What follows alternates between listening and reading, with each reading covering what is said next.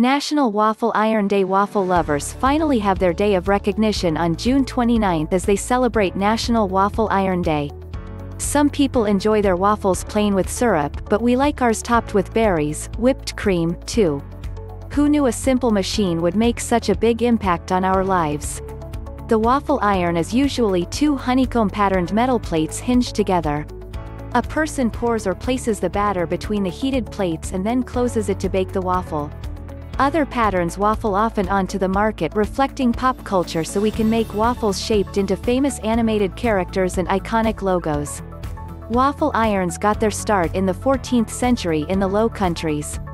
Even the earliest designs that were used over an open fire would have elaborate designs such as coats of arms and religious symbols. To waffle means to waver between decisions. Similar words with this meaning include flip-flop or yo-yo which also have national days on the calendar.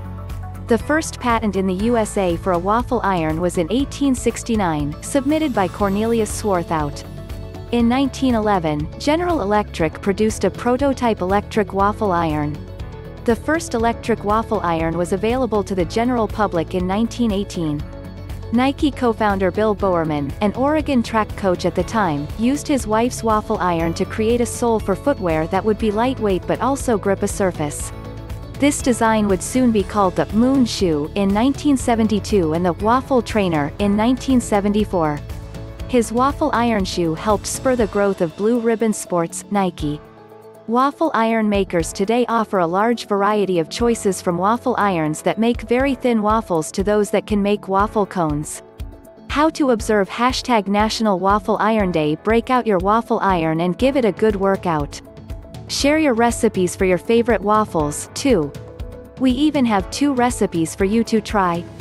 Waffles Waffles for snacking. Use hashtag National Waffle Iron Day to share your masterpieces on social media.